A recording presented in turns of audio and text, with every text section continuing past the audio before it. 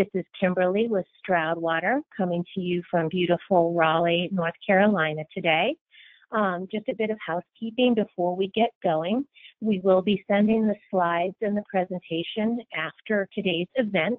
It will come to you from the email address healthcareadvisory at stroudwater.com. If you don't already have that list, uh, that email saved or whitelisted, you might want to do that to ensure that you receive the materials. Uh, a little bit of backgrounder on Stroudwater Associates. We are a leading national healthcare consulting firm serving healthcare clients exclusively. We work on strategic, operational, and financial areas where our perspective offers the highest value. We're very proud of our 34 year track record with rural hospitals, community hospitals, healthcare systems, and large physician groups. We have offices in Portland, Maine, Nashville, and Atlanta. Today's speaker is Opal Greenway, and she's in our Nashville office. Opal is an accomplished healthcare and finance professional who focuses primarily on the strategic needs of healthcare service providers. She's an expert in valuations, mergers and acquisitions, strategy, physician comp, and regulatory compliance. She works exclusively, extensively on valuations focused on physician and healthcare provider compensation, hospital service lines, and practice acquisitions. She has advised hospitals and healthcare providers regarding market trends, Stark and anti-kickback regulations, and professional service agreements. Her background also includes financial analysis and strategic development for healthcare entities. With that, I'll turn it over to Opal Greenway, who is our presenter for today's webinar. Opal? Thank you, Kimberly, and thank you everyone for joining us today. So today will be a continuation of a series that we have been doing with regards to the toolbox for performance improvement um, in hospitals and physician practices and physician practices that are owned by hospitals. Today's focus will be on those physician clinics themselves and the operational performance of those clinics and achieving staffing efficiencies there.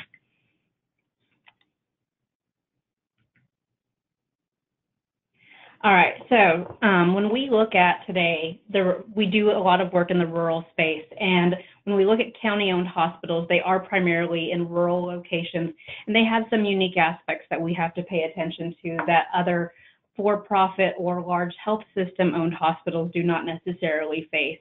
Regardless of how the hospital is owned, when they own physician practices, we're seeing a trend across the country that physician practice losses have reached an unsustainable level. Um, while many expect that this is the norm, it does not necessarily make it sustainable. So today we're going to go ahead and talk about their operational tool, toolbox that this is a part of a series of.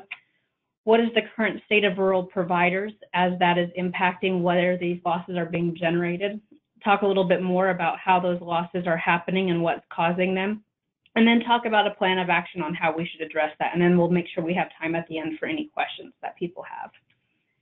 So talking about this operational performance improvement toolbox that Stroudwater has been working on, when we look at the things that are impacting healthcare today, there's you have to look at it from both a financial, operational, market, and what are the value aspects. These vector, vectors all come together and actually create our strategic and risk um, profile for each one of our health systems. And so today, what we're really focusing is what's going on in the provider practice operational improvement space that's coming at it from both an uh, overall practice management, but also um, achieving efficiencies with regards to your staffing. So those are the two tools we'll be talking about today.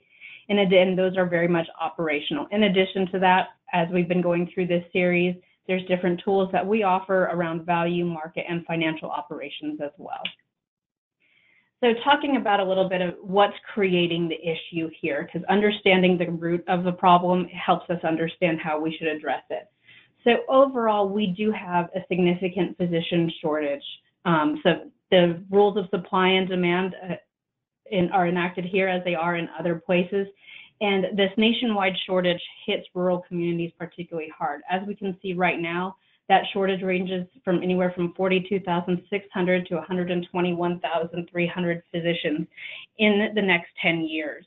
And that shortage, what's creating that huge um, spectrum of what that shortage is, is the fact that we don't know exactly what's going on in healthcare. So it's the um, the American Medical Colleges that do this um, survey each year, they look at it from a perspective of does the ACA stay in place? Does it go away? Do we end up with a single payer system? Do we get healthier as a population? Regardless of which scenario they run, we have a shortage. Particularly important to county owned rural hospitals is the primary care option. That is the healthcare access that we are trying so hard to maintain in these communities and they have a shortage of 14,800 to 49,300. The things that are causing this shortage are the fact that we have an aging population. A lot of our rural communities have a declining overall population, and the only growth is in that 65 plus factor, and those are going to be the high utilizers of our healthcare.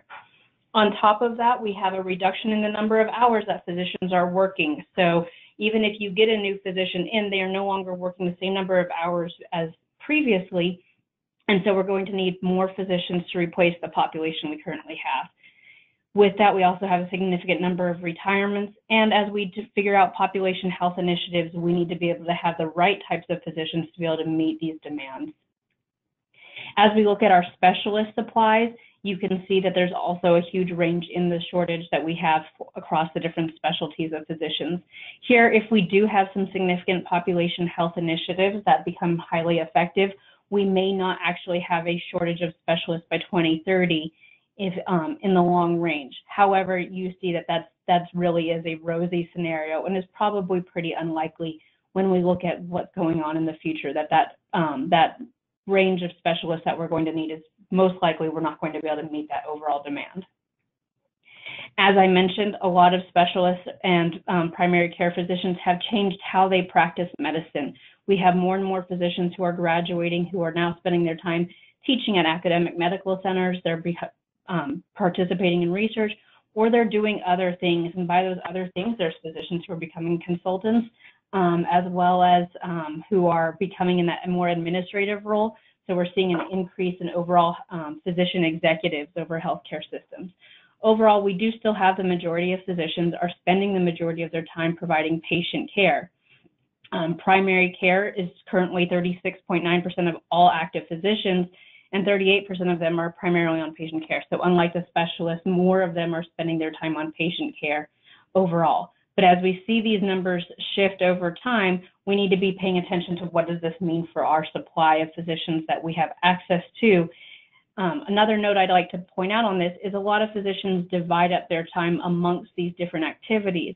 So when we recruit a physician and we come up with our physician needs assessments and our medical staff development plans based off of what we actually need for our patients, keep in mind some of the physicians that we would be trying to recruit may be expecting to spend 10% of their time on administrative duties, or they might be expecting to spend time what they call teaching or supervision of advanced practice providers.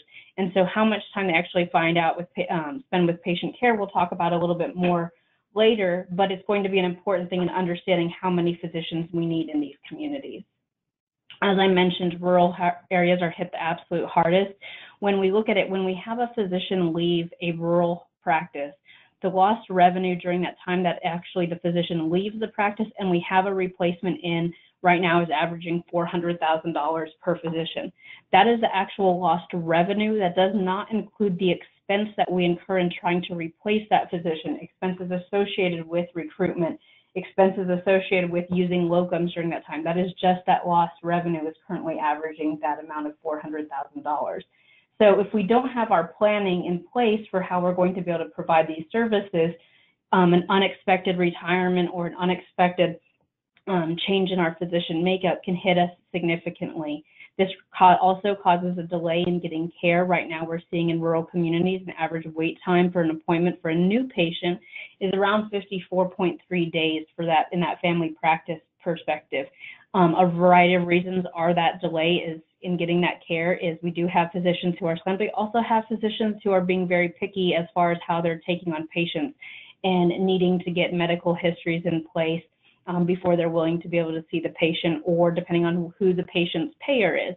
So those delays in getting care are um, hampering our patient access in these rural communities and also creates um, poor continuity of care where if a physician suddenly leaves a market, then how um, the different providers that may pick up the slack not those records and that history for that patient isn't always transferred properly, and we have that poor continuity. And so we see those patients in our emergency departments. On top of that, we also have a lack of specialty services. So more and more primary care physicians that are coming out, you know, have a little bit more of a focused study as opposed to a broad general being able to treat everything. And they're become overly reliant, in some people's opinions, of um, referring any issue out to a specialist. And so when they come to a rural community where there is not a bunch of different specialty services and more of the patient's overall health and having to address more complex issues than they do in an urban environment hinders our ability to recruit into these communities. Um, with that, other things that are making it difficult are the fact that the vast majority of physicians that are coming out of medical school these days and out of residency programs are in a dual degree household where that spouse is also a um, expected to have a high paying job in a profession such as um, attorneys, engineering, lawyer, um, and do uh, fellow doctors, et cetera. And so being able to have that kind of employment for the spouse, you really are recruiting now an entire family to a community rather than focusing on just the individual physician. So we can also talk about how we can use that to our benefit, um, but it's another snafu that's we have to take into consideration in our physician recruitment as if we're going to be able to have sustainable financial practices. Um, with that, there's also the lifestyle impact, call schedules. Most places that if you're in a rural community, you know that an OBGYN does not want to be on call 24 7, 365 um, to be able to be responsible for all the babies in the community. And knowing that, do we have to have an extra OBGYN or do we have to have find family medicine that can do OB? Same with general surgery. Most people do not want to be on that one and two call rotation when they've become accustomed to even in urban areas a one and six rotation. So even being able to understand that we have this expense of being able to do one and three rotations when our services overall probably can only keep one physician or one and a half physicians busy. We may need three just because of the call schedule. Um, that being said, you know, the use of advanced practice providers can actually really reduce the strain that we have on these shortages. You'll see that the states that are highlighted in green are full practice states where that state allows you to use an advanced practice provider to the full extent of their license, as opposed to the states that are listed in red, including where I'm located here in Tennessee, where the extent that that primary care provider, who is an advanced practice provider, that would be a nurse practitioner or physician assistant, cannot do the full scope of what their license is allowed to do. They have to be heavily um, supervised by a physician. Physicians need to be on site at all times. And so being able to use them for outreach communities, being able to use them to be able to give a lot of your primary care, being able to use a nurse practitioner hospitalist model becomes very limited if you're in a state that has restricted practice. So if you are in a state that allows full practice, one thing I would caution in thinking about how we can use APPs that are significantly less expensive than physicians um, to be able to provide some of our care is to pay attention to your payer contracts. Payer contracts are notorious for being more restrictive than the state licensing board itself on how you can use them. Or they allow you to use them, but they the execution of that contract and the implementation to be able to get payment for the services provided becomes limited without significant amount of extra coding and billing that has to go on. So even if you're in a fully licensed state, that does not mean that you know it's a free for all in using these APPs to reduce that strain. Um, but at least the one good news with that though is that the APP supply is growing um, more and more people are actually deciding to go into the nurse practitioner physician assistant realm. There's a lot less student loans associated with that. And um, the, we're seeing the compensation for APP is uh, as well. So bottom line with regards to that before we talk specifically about the practice operations is the fact that we need to always have our medical staff development plan in place. We have to always be recruiting physicians because it's so disruptive. It's so difficult for places to be able to get that physician and and how disruptive it, disruptive it is if the physician leaves we can't afford these vacancies. I was actually recently with a hos- uh, hospital in the past couple of weeks that had five unexpected vacancies that all were that all came in between retirements mission work etc that physicians were wanting to go do. And that was going to give them all of a sudden you know in a six month period they were going to lose five physicians. And we're stuck in a place of what are we going to do other than provide a locums? And there was going to be some competition in the market. It puts them in a bad position. On top of that, their medical staff development plan was very outdated and they hadn't begun recruiting for some of these were probably foreseeable. But because they did not have an active medical staff development plan, because they were not engaging with physician leadership to understand the environment that was going on in their own community, it puts them in a really bad position and they are going to have to use locums for a period of time while they get themselves regrounded in trying to figure out how to recruit practices. On top of them, it has increased their risk profile of having to recruit people that might not be a good long-term fit, but they're just wanting to get a body in the door very quickly. And so sometimes you don't always make the best recruiting decisions. That being said, let's talk a little bit uh, now specifically about the practices and the operations that are going on there. So as I mentioned, practices are, it is the very much the norm that practices are losing money in the actual clinic. The reason for that, there's a variety of reasons, whether it's taking out the ancillaries, it's increasing the physician comp, it's not doing proper due diligence, just because it's the norm does not make it sustainable. Losing $197,000 per physician is not a sustainable model for anyone. That number has been increasing and increasing year after year, and it's making things very difficult for these practices. Some of these things can't be prevented or they're done before the physician ever gets there or before the hospital buys up the practice. You know, things like the fact that a physician may, who, who historically had a profitable practice, had a did not provide benefits to their staff and now being part of the hospital they have to provide benefits. There's not really anything we can do about that but there is a matter of things that we can tackle right? And those are the things that i have listed here in blue. The ones that are listed in red are the things that are going to have the biggest financial impact that you can actually impact with regards to your physician practices and actually the operations within them. So making sure you tackle those where I, like to look at this from a triage perspective of let's think what can we get the biggest bang for our buck quickly that we can actually impact that's most important that's hitting us the hardest and work our way down. And from that perspective obviously we have to talk about the physician spend. So what we spend on physicians and what we spend on staff are two of the really big things that are going to hit us um, incredibly hard since they're the largest expense in any one of these practices when we think about providing quality patient care in our practices, practice management encompasses all of these things. So, so many groups that we have worked with, especially um, in these county hospitals, they have all these different bubbles are handled by different parts. They've over consolidated. They have, you know, um, the people who typically have this job in the hospital also handling it for the practice and there's not this communication that's going on. So somebody is handling ancillary services, another person's responsible for the telephones, another division is handling marketing for the overall for the hospital. Um, and somebody else is doing entirely dealing with the payer contracts, another group's dealing with the scheduling and the appoint appointments. And very rarely am I actually seeing in these rural and county-owned hospitals somebody who's keeping their eye on for the from the physician practice perspective on all of these different balls right?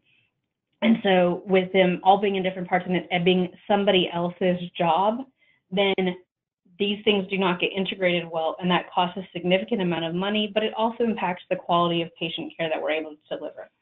So before we dig into these things, um, I have a polling question that Kimberly is going to ask just to get an understanding of where people are. Thank you, Opal. Um, get everyone's fingers awake and off their caffeinated beverages. Um, you have a poll that's coming up on your screen now. Um, what is the average level of losses in your clinics per provider? Please select one. Um, you've got less than 150K per provider, 150 to 220, 220 to 300, more than 300 per provider, or we don't track this metric, I have no clue is also an option. So give people a few seconds to offer their insights. It looks like we're coming in a dead heat between less than 150 per provider and not tracked. So I'm going to close out of this now. Looks like we have most people.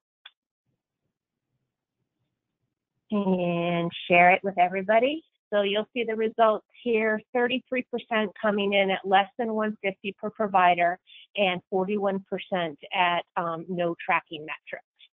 Back to you, Opal. Thanks, Kimberly. Um, well, I have to say the not tracking is very common.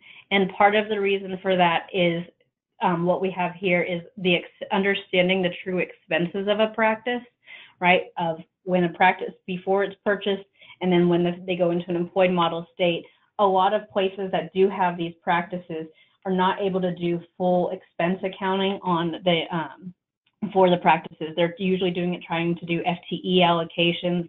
They're like, okay, this is not included in here. The salaries expense of um, we have people in the practices who may wear multiple hats, but they are either captured in the practice or they're captured elsewhere, and so that we don't have true P&Ls in a sense by provider or by location. And so people just glop all these expenses and all the revenue together and try to divide it by the number of providers. And that's a good way of looking at it just so you have an idea. But the problem is, is that you miss different things that when you do it that way. Some of the things that people will say um, when we're dealing with is physicians are like very much, I had a successful practice and then when I came to the hospital, you know, all of a sudden they're complaining about losing money. How does that happen?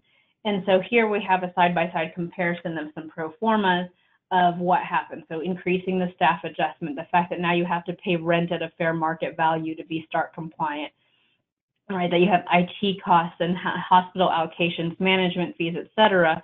When those things get added in and also any potential revenue associated with the ancillaries usually gets captured elsewhere in the hospital, then we start seeing differences in what the practice was prior to becoming employed versus after the physician becomes employed. One of the big things that I see, like I said, we're talking about what are the two most expensive things in the practice, the physician salaries and then the staff salaries. So the, um, with the physician pieces, knowing your contracts, having them standardized is absolutely critical. A lot of these county-owned hospitals, if we have if we have the benefit of having providers who've been in the community for a long time, their contracts were were negotiated a long time ago, and they don't get updated or they're missing or they're done. On top of that, you have um, community members who are part of your county-owned hospital board, and oftentimes that board is who's supposed to be in charge of overseeing physician compensation. And there's a little side deals that happen. It happens all the time you may be nodding your head or, or you might be sitting there and shopping like how could that even be possible but it does happen all the time um, especially in these smaller communities where everyone talks with everyone else and it's easy to call up you know your board chair and tell them you know that they you're not happy with your physician contract and you would like some sort of change to happen with that um, and or we have our contracts and we have them standardized, but we did not make sure that they make sense for our market and actually pay attention to the Stark and anti-kickback laws.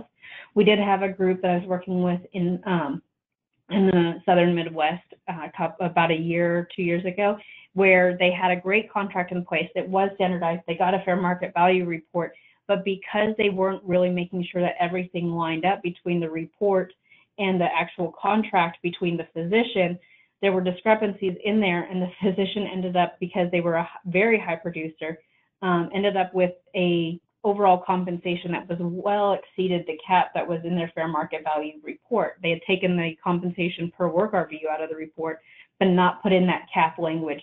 And the consequence was this is cardiology. So they ended up with compensation that was well above what they were allowed to pay under Stark and anti-kickback rules, but they were contractually obligated to pay that physician that amount. So as you can imagine, once we uncovered this, there was a big issue of having to ask the physician if they could pay some of it back, or do we do self-disclosure? You know, what are the what are our different options? Either way, it wasn't going to be a good scenario. So we did get, we did come up with a result of where we were asking the physician to pay it back over time, um, so that way we could be in compliance with Stark and anti-kickback. They did do some self-reporting, and on top of that, and had to restructure all their contracts going forward. Um, with that, with regards to compensation, we're seeing a lot of groups that haven't updated their compensation plan and they think that to be able to get a physician, um, they need to do a guaranteed base salary. That's very common, but it should really only be in place for about two years. And we're seeing we're going places where they have five, seven years of guaranteed base, and they never move things towards productivity. And whether that productivity is work RVUs for specialists or panel size for primary care, you know, I'm one of those people I say don't spend money on something that's not going to generate an ROI for you. So if you're trying to incentivize physician compensation and you're trying to put in incentive comp, you have to step back and think what are we actually trying to incentivize? Is it are we very much still in a fee for service model for our hospital? And so we need to have it to incentivize a fee for service model and go off of productivity. Or do we need to, if we're more, further along on an AC with an ACO or different value-based contracts, how do we put in the different quality components and how, how what quality components make sense for how the hospital is paid versus how we should be able to pay for the physician. So it's absolutely critical while it's still currently a very small amount that is tied to quality for physicians that number is absolutely increasing. And as we pay attention to going forward and we think about our contracts going forward, we have to think about how we as the hospital are going to be reimbursed. Um, and one thing that happens with these county owned hospitals is a tendency to put your head in the sand because you might have um, a mill levy or something else that's showing up that covers the revenue that keeps the hospital afloat. We don't know that those are always going to be in place. And so we have to make sure we our compensation is constantly evolving for how we as a hospital are generating our revenue. That being said, um, what we have to also deal with is what are the physicians actually actually looking for? Sometimes it's not just throwing out more money. Sometimes it is, but sometimes it is other things that we can take into consideration, whether it's helping them find a job for their spouse, giving them some sort of housing allowance, you know, trying to help them find what is going to be a good um, place in the community for them to practice, giving them flexible scheduling, all those different things. We need to think about all the tools we have in our toolbox, not just how big of a check can we write in order to be able to recruit these physicians. No matter what, when you come up with your compensation model for the docs, they have to be clear and easy to understand. If they are not, if the physician can't sit there and figure out how much they're going to get paid, they're going to be very unhappy with whatever the compensation model is. And it has to make sense, right? You have to meet the commercial reasonableness requirements and make sure it fits in with that. Um, so moving on to the practice management aspect of these clinics themselves, since a lot of the contracts are handled by somebody who might be in the hospital, you know, one of the things I say in looking at trying to assess how your practice is doing and do we have a good holding of our practice and understand what's going on is to step back and really ask ourselves three questions. Do we know what is being done in the practice itself? And that's not just what services are provided, although that's important to know. But we need to know, are we doing the scheduling there? Is that front desk person doing the scheduling or do we have centralized scheduling? Or are they handling it in the back? What is actually being done? The billing and coding, have we completely centralized it where all of our revenue cycle aspects are being done in a centralized place within the hospital? Say we have our revenue cycle team is five people that work together in the hospital and there's nobody in the practice? Or is there, or do we have a coder in there? Or do we have a, nurse, um, a registered nurse who's working in the practice and works half time as a coder? What is actually happening in our practice? On top of that, we need to know who's doing what. Um, I was just actually in a practice recently where they're used, for some reason, they are able to recruit a whole bunch of RNs, but not medical assistants, and the re- and with that, they have RNs doing a lot of clerical work. So, and I'm not sure that they always realized that that was the case that was going on. And so the different job descriptions that they had with the different places were impacting their ability to recruit the actual staff that they needed. You know, who's and knowing who's responsible for each different piece of what happens in the practice is absolutely critical. And then we have to think about who's really in charge. Is the hospital CEO in charge of everything? No, they usually have to delegate something out. Even if the buck stops with them, they need to delegate to be able to be effective. But when you go into the physician practice, since it's usually in a separate location in the hospital, or even if it is, it's a matter of is it the physician who is in charge? Is the practice administrator? Is it a, is it a fantastic nurse that everybody respects? Who's truly in charge of the practice? Because as many of us might say it's our oh it's our administrator who then you know reports to our director of physicians or to the ceo something of that nature. But then we actually go into our practice and realize that the front desk listens to the if the physician says change the schedule the front desk person listens to the physician not to whatever template that the practice manager put into place. So we have to step back and think who is really in charge here? And from that matter i will say best practice is to use a collaborative model right? Everybody should have some ownership of that practice's success, which means you need to follow some sort of dyad structure between physicians and administration and have everybody on board for that overall success of that practice rather than saying it just needs to be a single head who answers all, who can go to for all issues. One of the things that we're seeing within the practice um, that happens is oftentimes is what's happening with the schedule. You can live and die by your scheduling within that practice. I'm a huge fan of using scheduling templates and making sure those scheduling templates make sense, that you engage with physicians in creating them, and that they match your contracts. So here we had a group, um, this was in um, upstate New York, that they had they worked really hard on their physician contracts. They said that they all physicians were supposed to provide reasonable full-time hours. Um, they said that you know what that's a little bit vague. Let's say we need it to be 36 hours in the clinic. Well, here when they went they actually passed those contracts, everybody signed them, but it never made it into the scheduling template. So the scheduling template stayed the same despite the fact that they worked hard on their contracts. And here, when we actually pulled this out of their EMR system, we noticed most of the providers weren't doing 36 hours or reasonable full-time hours. They were only in the clinic less than 30 hours a week. Well, if you take into consideration how much they were getting per patient per week um, on that, having that, even just getting it to them to 32 hours per week um, would be a benefit of $217,000. Or if we could get them up to 40 hours, which with this group actually would have been reasonable in this type of clinic that they were in of because they had extend they were supposed to do extended access hours it could be $600,000 of benefit. So patting yourself on the back for getting in really good contracts is fantastic except for we have to make sure those things actually get operationalized right? We don't make changes for the sake of making changes. We have to make sure the changes that we make if it's, especially if it's in a contract that it actually gets executed. And who's responsible for that right? This is where i say you can live or die by your schedule is who is truly responsible for getting that in there. Is it your person who's in charge of your EMR? Is it the practice administrator? Is it the front desk people? And knowing who's responsible to make sure that happens. Um, here, this is that group, that same group, when we looked at there was an overall performance improvement project, we looked at fixing their collections, we looked at um, doing some expense reductions, but those impacts overall, I mean, on the loss per physician under these different scenarios, it was going to be huge. And you see how they, we go from very unsustainable pro projected loss of 731,000 to all of these different improvements of actually operationalizing them, we end up with a loss that's a lot more manageable for us going forward. So one thing I will note on that is if you people think, okay, let's just fill up the schedule. Sometimes you have to make investments in order to be able to fill up that schedule and being to pay attention to what your patient access issues are here.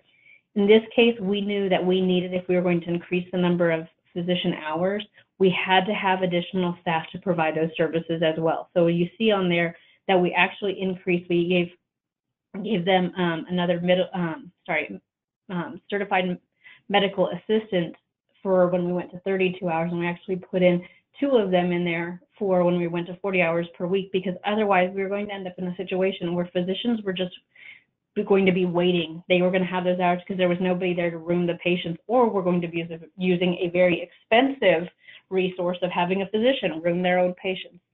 So keep in mind what are the resources that you need to actually operationalize these things and be realistic and understand sometimes you have to spend a little bit of money of hiring a medical assistant if necessary to be able to make much more money for that practice. So with that, before we get into more of the staffing efficiencies, I think we have another polling question. We do. Um, let's launch that and get everybody back to their keyboard. What tools are you using to check patient flow? You can select as many of these as are pertinent. Uh, you're tracking seen, scheduled, canceled, and no-show appointments by provider. You're using a scheduling template.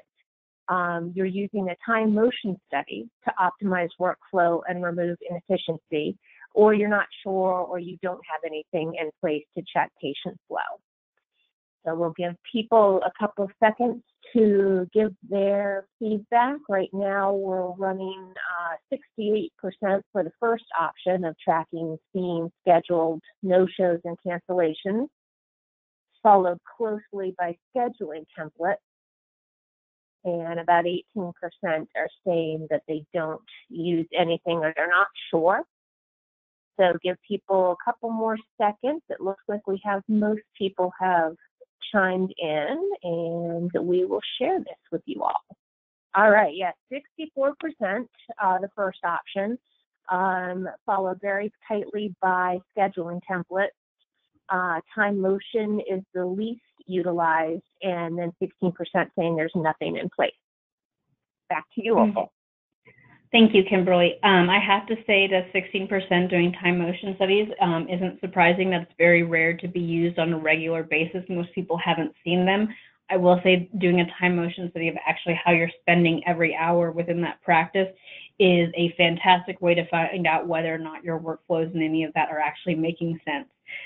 Realistically, I know that a lot of people are not going to take the time to do that to actually truly optimize their performance but they but having certain tools in place should be a baseline minimum to be able to um, at least know that you're operating at a decent level. So one of the things that we pay attention to is what is your overall patient throughput. This is a separate practice, different than the ones we were talking about earlier. Um, this one was in the Midwest, where we had a number of different providers. We looked at what, how much time were they spending face time with patients each week.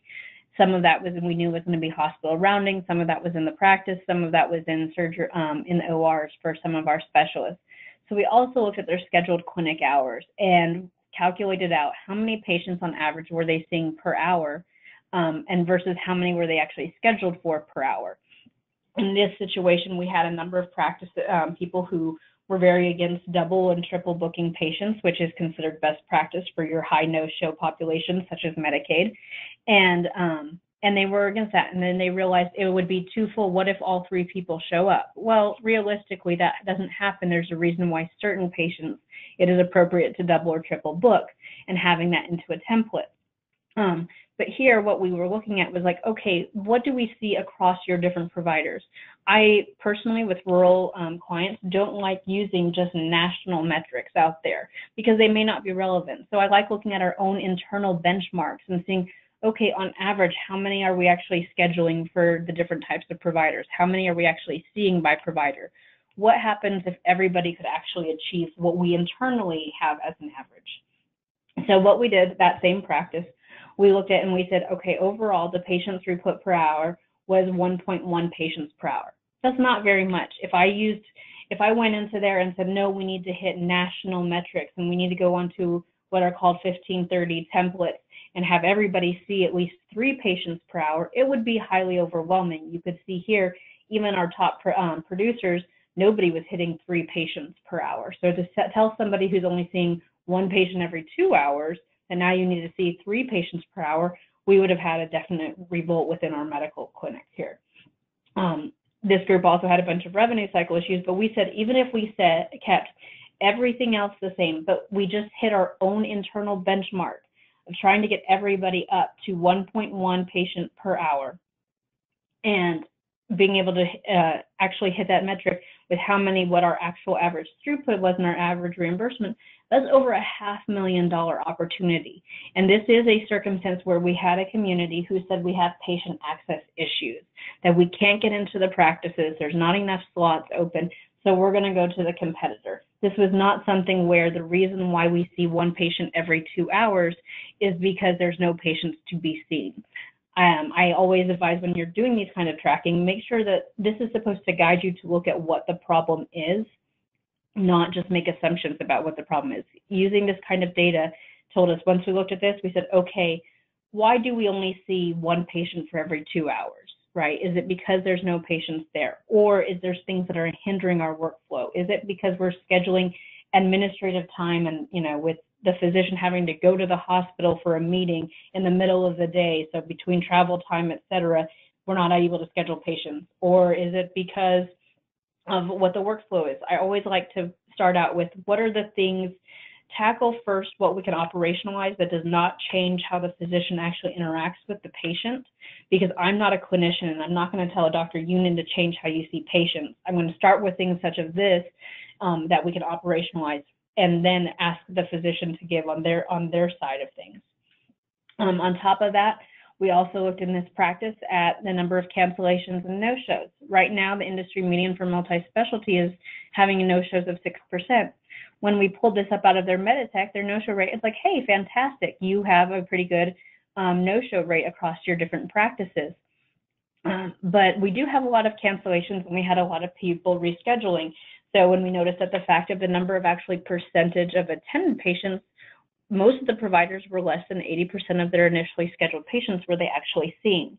Well, we spent time in the practices and we realized that each provider itself was, while they had a no-show policy that had been passed, it wasn't actually happening across the board consistently. A lot of providers, because they were concerned about, you know, if they had a three strike rule, where if a patient no showed three times, they would get a discharge letter saying they were no longer going to be a patient of the practice. So to override that, we had several different physicians telling people, oh, as long as they're here, you know, if they if they call and cancel within 15 minutes after their appointment was supposed to start, then just put them as a cancellation rather than a no-show. Most places might their um, their actual no-show policy as a hospital was if you canceled less than 12 hours in advance, you were supposed to be a no-show. But people were overriding that policy on a regular basis. So when we looked at no-shows and cancellations, you can see here almost every group was having a very high no can no show and cancellation rate and it, it was very much just driven off of the fear of discharging patients the problem with that is that we had a long wait list. And so when we don't, and we, when we're concerned about that and saying everybody should be a cancellation rather than a no-show, it does not give adequate time to reschedule somebody who's on the wait list who wanted to get into the practice. So it's hampering our, our patient access, it's hampering our um, workflow, and these patients who can't get in because we can't get them off the wait list show up in our emergency room or they go to the uh, go to a competitor. So that's why it's so important. With that, when we look at our staffing, you know, we have to make sure that we have um, basic scheduling and workflow pieces that are in place, right, for effective practice management. And on top of that, I like to tell people, people do what is inspected, not as what expected. Just because you pass a policy does not mean that it's going to actually have any impact whatsoever if you're not enforcing it. So don't pass policies to pat yourself on the back to say, look, we have policies and protocols in place if you're not actually making sure that they're happening. One piece of that with workflow that impacts our staffing levels that we need is having just basic checklists of making sure that certain things are done every single the same way every single time. You and people think, oh well, it's degrading to have a checklist. You know, we should be able to trust our people to be able to go through and do what's necessary of them. Even pilots have a checklist who fly a plane every single day, is so that you don't miss things, right? So when you have a policy, have the, your standard process for how do you create an appointment, how do you delete an appointment, what is your cancellation no-show policy, how do you collect patient balances, and all these different pieces so that you can monitor when things are not going well in your workflow. Um, again, moving on some more to the staffing efficiencies, and where these actually play with productivity that we were talking about with the physicians and their compensation earlier on is understanding what are the appropriate staffing levels are absolutely critical. Here's a group that um, that had a lot of RNs and couldn't get medical assistants. For there was a nursing school that was in the town that they were in, so they were able to get a lot of RNs. And so when we looked at this from an overall perspective, we saw that if based off of the number of providers they had in this situation, you know, they were understaffed on certain pieces, but overstaffed on nursing because the nurses were actually being providing the front office and clinical support positions, same with the medical assistant positions, were very much being done by RNs. That is a very expensive resource. And so understanding what that expense is and realize if that's the reality of your market, okay, that becomes all that much more important that we optimize workflow and have job descriptions actually in place to be able to manage that resource. But on top of that, we need to encourage our physicians and make sure we put things in place to incentivize them to hit different productivity parts. Here we had staffing that was based off of you know the number of providers that they actually had, but when we looked at the productivity and said based off of how you're doing your um, how many patients you're seeing, you actually have you have a lot more staff than you would need, even if everybody was hitting their productivity metrics. So how can we have make sure that things are lining up in a way that actually makes sense? Do we have the right people for the job to be able to monitor this and man manage what our actual labor spend here is in this um, in this clinic? Um, and because it wasn't on site of the hospital, right, the clinic was a few miles down the road from the hospital, nobody was really responsible for paying attention to this. And if you're not paying attention to this, you can't actually make any sort of changes or realize what's going on. You're just seeing your provider losses increase and increase. So as I mentioned earlier, part of it is who's in charge, but then who's in charge of the staff, right? Of the actual people, the boots on the ground there. Who does the front desk person actually report to? Do you as a practice, do you have managers or do you have supervisors? What level are you able to get into your community? Or do you have an administrator? Or do you just have a head you know, who's your clinic lead.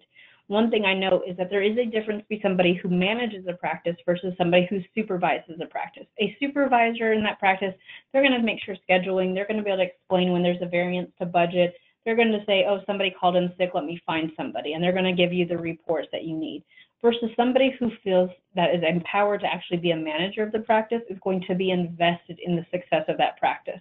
They're going to say, hey, I'm going to do, they're going to look at their workflow. They're going to say, what does, is this actually optimized? If it's not, how can we fix it? They're going to go and talk to the doctor saying, hey, I noticed that you always have this on your, uh, this on your schedule what can can we move that to the beginning of the day so that doesn't disrupt patient flow? Can we move it to the end of the day, et cetera? Um, there something comes up and they're going to deal with it then rather than wait until somebody at the hospital calls up and says we see an issue right and on top of that they're going to think more strategically not all of our rural communities can find these people but knowing the difference of and setting the expectation can move mountains with regards to how effective your workflow and what your staffing numbers are.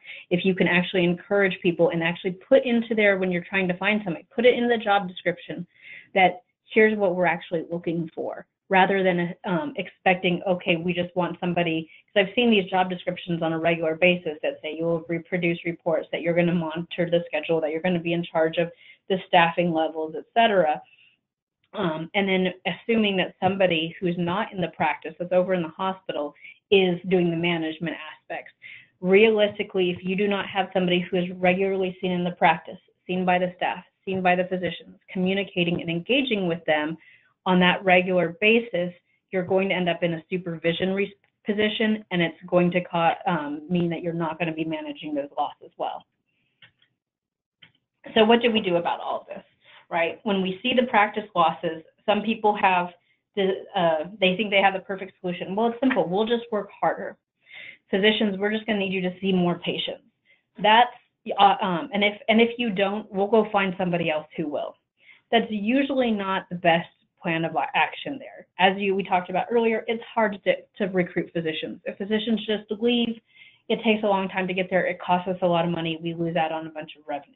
There are things that impact that happen in the clinic that imp, um, impact your productivity. Do you know what it is? Do you know what's impacting the productivity? And don't assume that your physicians are just lazy and that nobody works as hard as they used to. That's not usually the case. I was just in the practice Monday night. We had a great work session of trying to come up with an implementation plan to address several of these issues. Recognizing it had to have finance, it had to have the staff in the clinic, it had to have the physicians. Everybody came out of that room on Monday night energized to be able to tackle and realize that everything we wanted to change involved everybody participating. It wasn't one person's problem, it was everybody's. So we need to understand as a group within the hospital and the practices what's causing low productivity, what's causing low revenue, those different pieces, and engage together to figure out what the solutions are rather than just assuming what they are and assigning a physician to take care of it, right? The physicians I work with, they love to triage and treat, right? Whether that's patients or you've given them some sort of problem, and we have to work together to come up with a solution with that. So that being said, you know, people who are concerned saying, well, my physicians just don't care that we're losing the money in the practices. That's not their problem. They are here to see patients. And so what's going on with the finances are not their issue. Most physicians actually will really engage if you give them the right tools you should be giving them a monthly and weekly dashboard at the very least that has information about what's going on in the practice.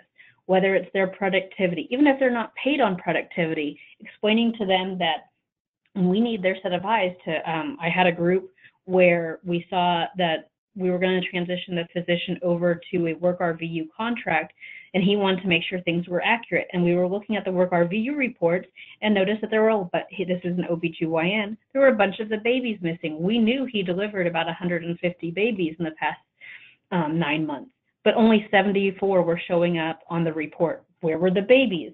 Nobody would have caught that if the, we didn't sit down and engage with the physician about whether or not the work RVUs were correct this only happened because we were changing the compensation structure. But what if we weren't changing the content um, compensation structure? What if he was staying on his base guarantee? Your physicians need to understand why it's important to pay attention to this, even if that's not how they're paid, right? So that you can check what was going on. It turns out a lot of the um, antepartum and postpartum these pieces were not properly billed underneath the, the global payment for the babies. So it was all that was missing. That was revenue that what that the hospital missed out on. Doesn't impact the physician's paycheck, but the physician sure as heck cared whether or not the hospital was getting paid for the work he was doing. Um, on top of that, having physicians engaged around the financials, you have to give them a baseline education so that they know what they're looking at. They have to understand what is revenue, what is AR, what, this is why it matters. Because to assume that the physicians know this stuff if you're not going to give them the base education on it, is a huge misnomer. Most medical um, programs that I've worked with in the past do not give physicians any sort of business planning. They don't teach them about contracts. They don't teach them about how to run a practice. So they come out of medical school and they're like, well, I better just go become employed because I have no idea how to run a practice. So you have to give your physicians a base level of understanding and education about why something is important how it impacts the bottom line, how it impacts their paycheck if you want to be able to engage with them. Don't just hand them a report and say, well, I give them reports and they don't ask any questions. It would be like handing somebody an x-ray and say, well, read this and tell me what the problems are. You did that. You don't expect the physicians to do that to you. You can't do that to the physicians. There has to be this communication. It has to be regularly and make sure that education level is always up there to be able to have um, impactful engagement with the physicians on these different pieces. So I have a to-do list for everybody who is on this call in understanding what's going on in your practices. If you're going to actually improve those loss ratios, for those of you who are not tracking at all, you know, when you get back to your hospital later today, take out your pen and pencil um, and paper and your calculator and calculate how much you're losing right now.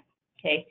I mean, that that's step number one. So it's just to understand the position that you're in right now for those who are already doing, make sure you understand why you are having those losses. What's causing them?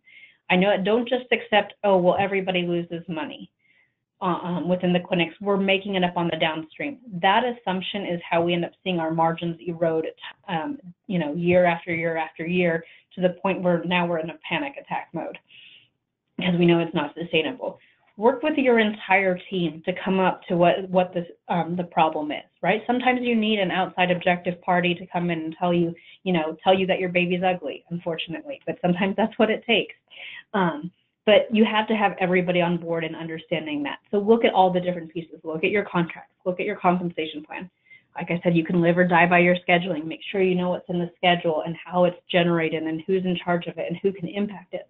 Understand your staffing pieces. Um, it was a different webinar. We talked a little bit more about payer contracts and the revenue cycle process. So um, you can go back and look at um, one of those webinars to get into a little bit more about those details.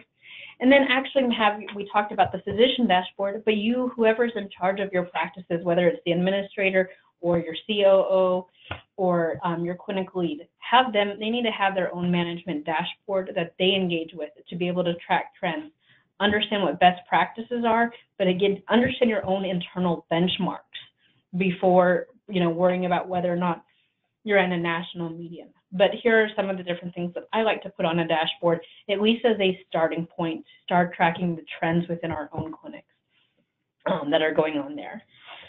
Um, to wrap things up before, because I want to make sure we have some time for some questions, some key takeaways you have to be recruiting. Where are you on your medical staff development plan? Is it, is it using current methodologies? If your medical staff development plan does not address the ability to use advanced practice providers to fulfill some of your needs, your medical staff plan is using an outdated methodology. That methodology has not been current for a while. I highly suggest you get an updated medical staff development plan or do one yourself. Make sure it actually makes sense and it fits in line with the overall strategy for the hospital. Okay, recruit and prioritize according to that medical staff development plan and always try to be ahead of that game because you don't know what's going to be happening. You have to engage with your physicians and what their plans are so that you're taking that into consideration in that medical staff development plan. Don't just accept your losses for what they are and say, well, that's that's the state of the world and everybody has that problem. Because there's a re- if it's median, that means people are doing better than that. And those who are doing better than that and actually are understanding and addressing it on a regular basis, they're on a path to financial sustainability that those of us who are putting our head in the sand are not. Make sure you are, so a lot of people have read the book Measure What Matters. There's a reason why it's out there. You have to know what your metrics are and you have to be paying attention to them at the very minimum on a monthly basis. I have seen some of the people who are really advanced have their EMR system set up where they get daily reports that is the rarity. I can tell you that right now. Most people only look at it even quarterly, which is a problem. Monthly, because you're going to have problems with timeliness of billing and other issues that start start to seep in. So need to do it as at least monthly. There's, there, there's a lot of tools you can set up, and people assume, well, my EMR doesn't have it, so I can't get it set up the way I want to. That's a misnomer. Um, you can get these tools set up and work with your different EMR systems. I don't care if you're on Allscripts, Cerner, Meditech, Medent, Epic. Each one of them does have a different way of doing reporting, but you might have to work with your IT team and your EMR team to be able to figure out how to be able to set up the, re- the dashboards the way you need to. And on top of that, finally, make sure you're engaging with the physicians. This is everyone's problem. This is not our of the practice administrator's problem.